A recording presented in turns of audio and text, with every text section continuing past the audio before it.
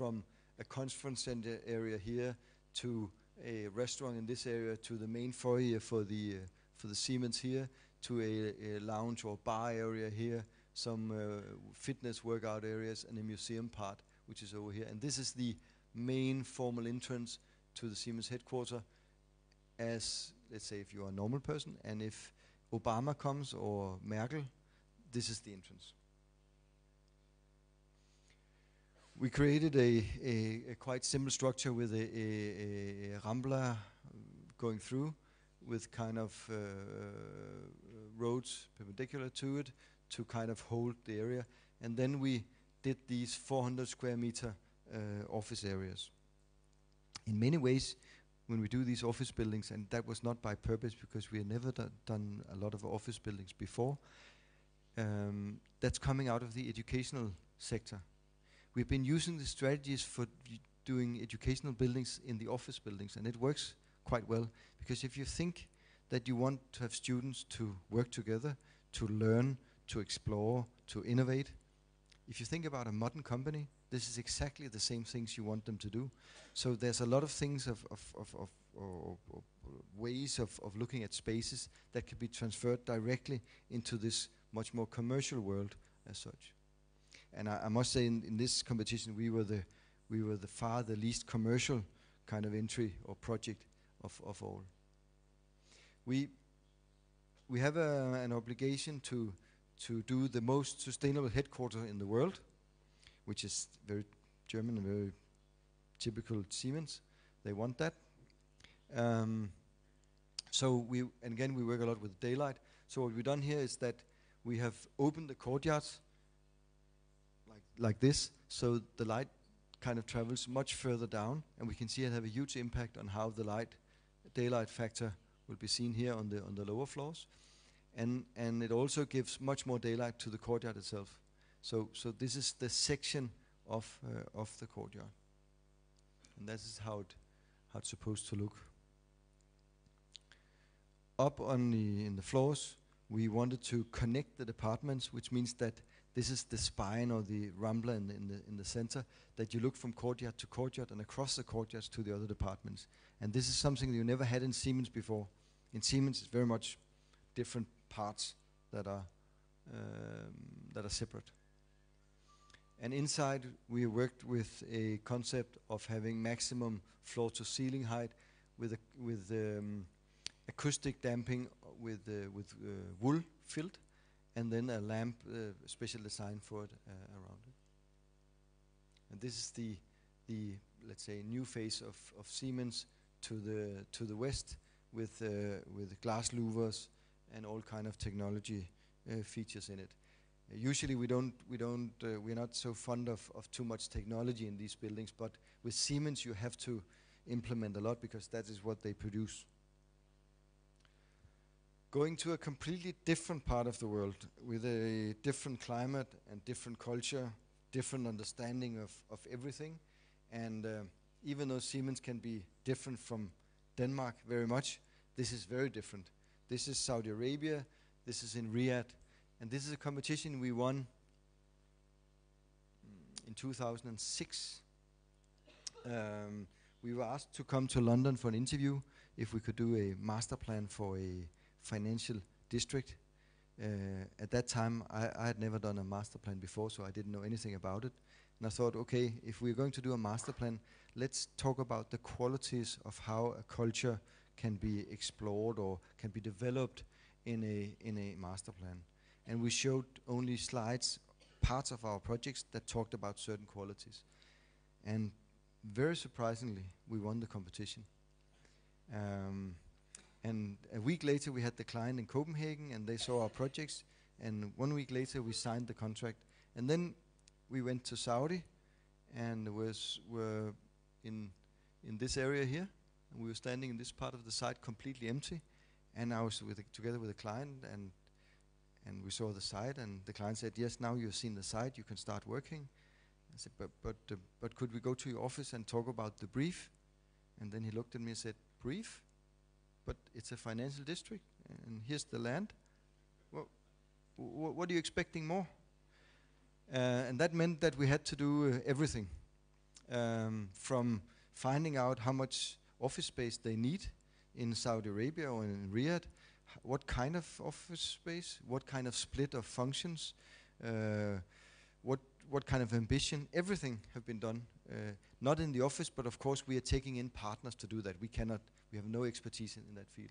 But it meant that we were we were having the the, the concept financial district and the land and nothing else, and then a fee, of course, to do it for. Um, oh, sorry. Uh, we started studying the uh, local behavior, uh, and of course, also looking at the master planning that had been done through the last 30, 40 years in Saudi, which had been done by American companies, basically all of it. And it's the same orthogonal grid as you would use in Kansas or New York or Los Angeles. Uh, the problem here is that if you do a very big road and you have plus 50 degrees in the summer or plus 52 degrees in the summer, you have to take your car to cross the street because you cannot walk, it's simply too hot. Then we started studying, oh sorry, these, um, these old mud villages and found out that there's a very, very distinct understanding of how you survive in an extreme climate. And this is what we used as the starting point for the whole uh, for the whole project. And this was actually the first picture I showed in the first presentation for the Minister of Finance in Saudi Arabia. And I, sh- I- I showed the picture. I said like five words, and then he stopped me and said, "Do you think I, we pay you thousands and thousands and thousands of U.S. dollars to come here and show a picture of a mud village?" and I like, please, can I um, can I have a chance to maybe explore a little more? Um, we became friends later on, but but that was really di- difficult. I never met the the, the guy before. Uh, but what it also shows is this dilemma or strange situation. You have this extreme modernity and this extreme kind of situation rooted in in a, in in thousands of years of knowledge of surviving in a place like this. We looked at the at the wadis, which is the low areas in the deserts. Yeah, maybe you don't think that, but in the winter it rains a lot in the desert. It rains very, very much. It rains so much uh, in one day that all the underpasses in Riyadh they're filled with water. That you, if you drive, you cannot drive under a, a bridge because it's totally filled with water. And uh, I think last year we had eight people drowning because then the sun comes up and you drive, and it, it, because of the, the strong sun, it looks it mirrors. It looks like the road, and you drive in your big car into the water, deep into the water, and because you have electrical windows, you cannot open the doors, and people are sitting in the cars and they drown. So it's a, it's it's a different. I, I didn't know that before I started working there, but but uh, but that is the case, and that means that these uh, these areas with the wadis are very very important to understand how to get the or how to get the water away when it comes in these heavy rainfalls. At the plot, at the site, which is 150, uh, 65 hectares, we had an existing wadi. We took that as a starting point, and then we formed a city around it, very much influenced by the mud villages. This is, of course, a completely different uh, uh, village or town. It's 3.3 million square meters. Um, it's a, uh, let's say, it's a financial district, but it's also a city district of Riyadh. It's one of the five centers of Riyadh. And um, I'll come back to it in a minute. But it's very much about creating a public realm, a destination, a place to be. And just before the presentation to, the, to, to King Abdullah, we were asked by the minister to travel the world and find out about similar projects, similar size projects, scale projects. And um, we came back and changed the whole split of, of, of functions because it showed that financial districts doesn't work at all. It doesn't work at all because this monofunctional kind of understanding, which is belongs to the 70s and, and 80s a lot, uh, is kind of dead. Visiting Singapore, Toronto, um, Taipei, Hong Kong, it showed that you have to have a certain split with uh, residential, cultural activities, shops, you know, offerings for the people. Otherwise, it doesn't work. So we changed to 35% uh, apartments, 10% shops and uh, and cultural functions, and then the rest as as offices. And that means if you look at a, a split in, in inner London, it's almost the same kind of split you see there. So basically, we're just doing a new district in Riyadh in Saudi Arabia. And this is the this is the Wadi area, which is quite green. And I was there on Wednesday, and we were just about to put in the palm trees uh, in it in, in the area now, and I'll show you from the construction side in a minute. Uh, and and it looks quite promising, but it's a very much much more dense uh, configuration than they have seen in many years, and it was a big problem to convince the city planners in Saudi to accept this. They did so with a little help from the king, uh, but otherwise, I'm not sure we would have uh, we would have been successful. This is some of the buildings we've done. We invited 14 different architects to to work with us because otherwise it would be just our design, and we have done seven projects and all the bridges and a lot of the landscape and plazas and some of the culture institutions, 700,000 square meters uh, as such. But this is one of the buildings. This is another complex, Crystal uh, Towers, which is uh, just completed the, the structure. Uh, this is a 100,000 square meter building, and behind you see the very big ones, which is up to 400 meters uh, in total. But this district is all, it's all about creating shade so we get people out of the cars to walk to their destinations. We have a parking facility underneath with 50,000 parking spaces. Um, and we have a bridge system connecting all the big buildings, which is 2.7 kilometers of, of bridges. We started the construction two years ago, um, which is very big site. We have 25,000 workers on site at the moment. Um, and this is uh, from that's five six months ago, um, and we, we we haven't got we. It's a 2.6 million square meters we are building right now, so we have a little reserve left uh, that's not been designed. But basically, this is the scale of it. And of course, I've been very nervous about how this would would end. Uh, but I think after seeing the the, the spaces as such, I'm, I'm much more uh, relaxed now because I think the spaces work. I think some of the designs from different architects they are not that beautiful, not at all, basically. But as if you remember walking in New York, and you if you take the the challenge of in, uh, in front of each building in each in a street, just take one small street, look up, you will see that they most of the design is kind of really really bad. But together they form this street, which is magnificent. If you take uh, Bro uh, West Broadway, it's it's not good buildings at all. Very few buildings, very good. The rest is horrible. It's the same situation here. I can see that. It's difficult to control because when we did the invitation for the 14 architects, the list we made was not the list that was. The yeah, yeah. This is what happens with a client. Um, what's also important to to say here is that when the spaces works, this is the identity of the place. That, that's what you will remember afterwards. And then, sustainable wise, we started out saying we wanted to make a sustainable development, and the client said no, because nobody will rent a sustainable building. But now, all the buildings basically they are LEED Gold in the development, and the whole district is LEED certified to LEED Silver. We have district cooling uh, and um, and a lot of um, uh, photovoltaics on the buildings.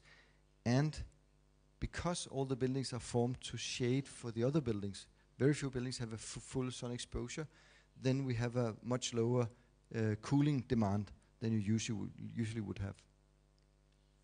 My last project, now I'm going to the other extreme. This is two extremes in climate, but also two, two extremes in, in public realm and, and relation between building and public realm. This is in, in Iceland. This is a project we uh, have done uh, for the, you can say for the for the government, for the country of, of, of, of Reykjavik. It's an, uh, a PPP project, and it was just started construction when uh, Iceland had the financial meltdown. And of course, that is very, very bad, very difficult. Um, this is a project that holds a concert component and also a conference part In many of these places, like size of Iceland, you cannot do a full opera house. You saw the opera building from Copenhagen before, that had like a second to none uh, acoustic kind of situation or quality. This one you have to compromise a little more because you have to have a car exhibition or a, a um, farmer's market inside, and then you have a classical concert two days later. Iceland, extreme country in any ways. Extreme economy. You remember the geyser economy? Didn't work. Um, but also extreme people, extreme climate, and it's, it's really fun. And it goes from being very very light at summertime. It's it hardly gets dark in July. It's like maybe half an hour, an hour. It gets a little dim, but daylight around the clock. But in the wintertime, in January, you have less than an hour's daylight, which is really, really, really dark. It means that 11 o'clock the sun comes up, and 12:30 disappears again.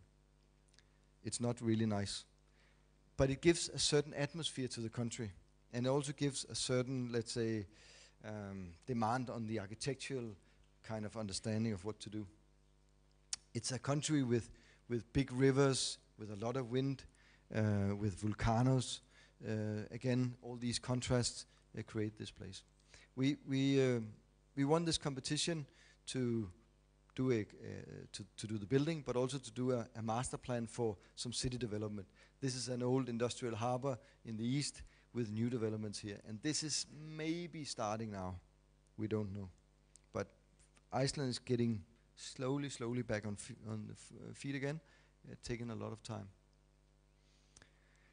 Very characteristic for the country is this uh, basalt stone, this very dark stone, which is this one.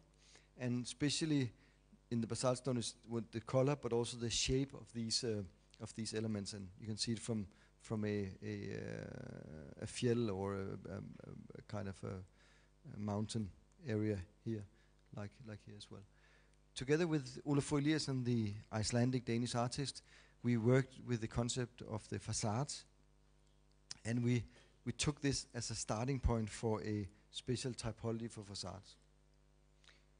Just coming back to the functionality, big venue, 1,800 seats, two smaller ones, typically also for exhibitions, in, in these areas, flat floors, where this have a, a, a raised floor. It's a um, it, it, was a it was a construction process of very much difficulties. We had the um, the whole project stopped, of course, with the crisis. Uh, the the bank who should finance it, they went bankrupt. Then the government took over, and then they got an IMF loan and with the IMF loan, the government used some money for the construction. And that meant we could see the construction starting when you had the money coming in. Then the, the money was drying out in the country, and then the construction went down, and then it started up again when they got new money from IMF. So we are quite grateful to IMF that that they, you know, or the government that they supported this because, and that was an interesting thing now that we didn't know at that time. They told us now that this project should be the symbol of survival in this totally crazy situation that Iceland was was in. That you know there had to be a kind of a national thing. So and fantastic to be part of it, but we didn't know it at that time.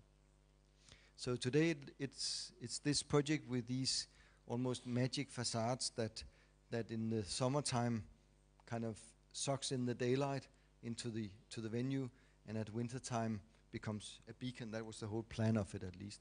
And you see the the the mirror the there's mirrors colored glass and clear glass in a composition that creates these uh, facades.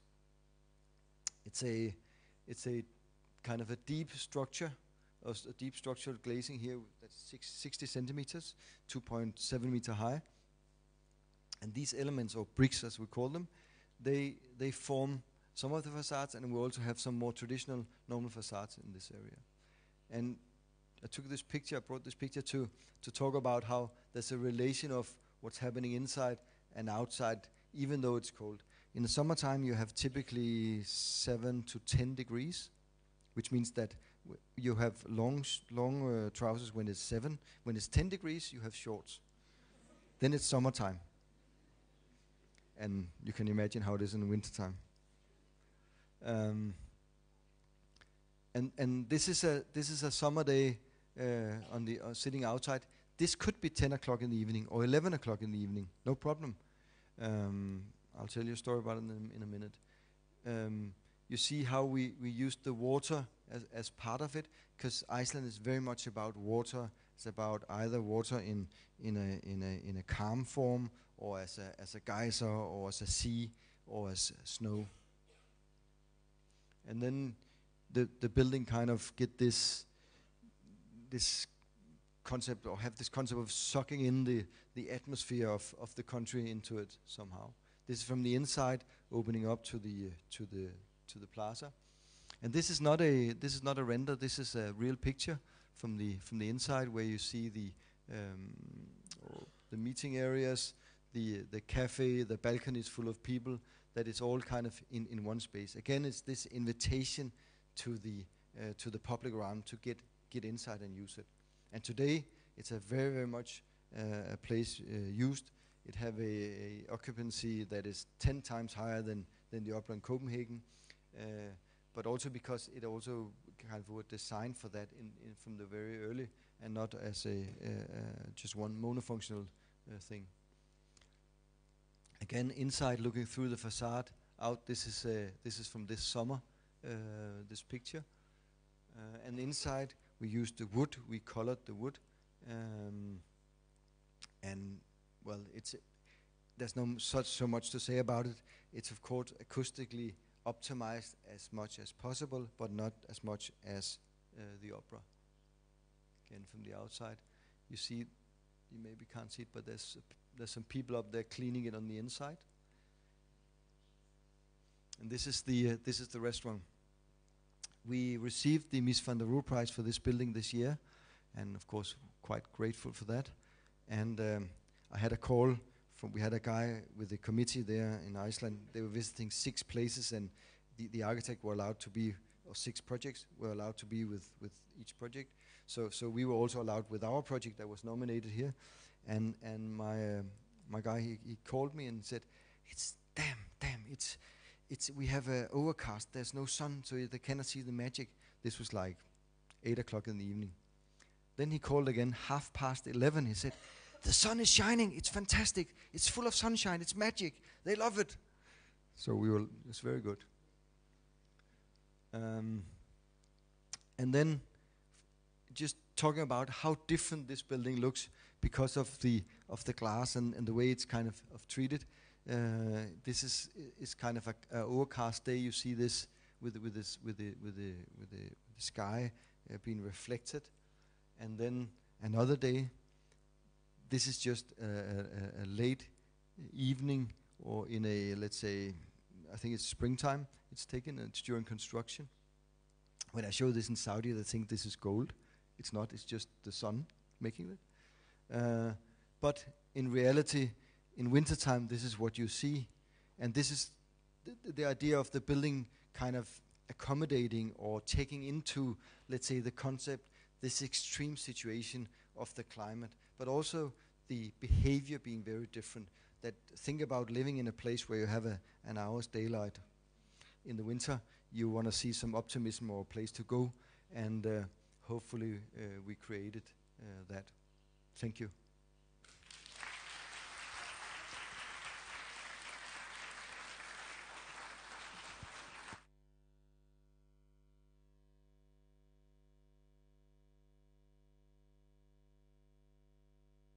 Thank you, thank you Mr. Becker. Hvala vam svima na uh, strpljenju. Uh, bilo je zanimljivo jutro, nastavlja se zanimljivo poslijepodne, vjerujem, uh, od 14 sati.